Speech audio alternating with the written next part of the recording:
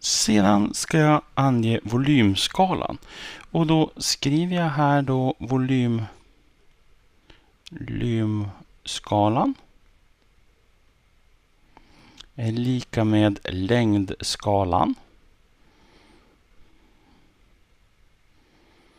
Sådär. Sen vet jag att volym, enheterna när jag räknar volymer, det är ju till exempel kubikcentimeter, alltså centimeter upphöjt till 3. Eller kubikdecimeter, alltså decimeter upphöjt till 3. Eller kubikmeter, alltså meter upphöjt till 3. Och när jag har volymskalan så är det längdskalan upphöjt till 3. Och längdskalan, den känner jag till sedan tidigare.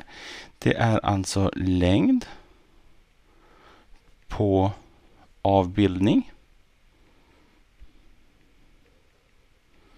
genom längd i verklighet. Sådär. Så.